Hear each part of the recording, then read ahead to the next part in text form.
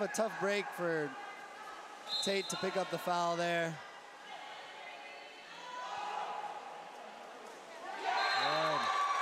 And that was something in the first game that we weren't able to connect on. Yeah. The Terriers were short on almost every cross cage pass.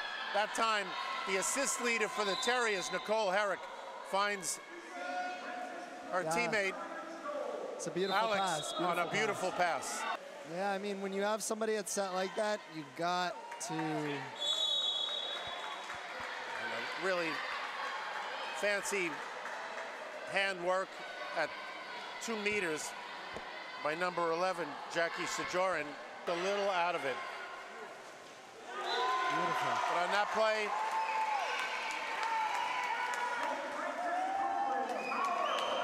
Well, it shows what you can do when you slow down this game and, and just and just play the right way and make the right passes. Actual Japanese national team playing press in front and relying on counters and swimming. Erin had a great position there early. and a parabola shot there by Kelsey. Yeah. I think that's her 100th goal of the season in her last home games Last here at St. Francis. And another parabola from exactly the same spot by Kelsey, the New Zealander, sophomore out of Auckland. There.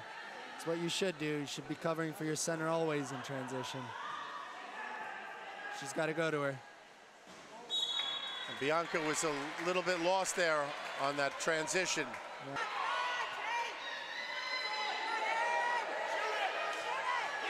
Erin Brakely off a deflection. The Wagner goalie 2-1, and that'll do it.